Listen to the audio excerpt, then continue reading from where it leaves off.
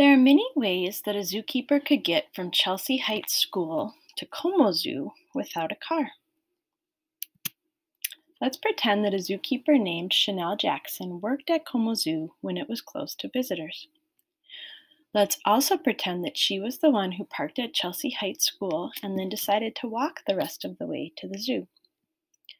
Based on the length of her step, about how many steps would zookeeper Jackson walk to the zoo from Chelsea Heights?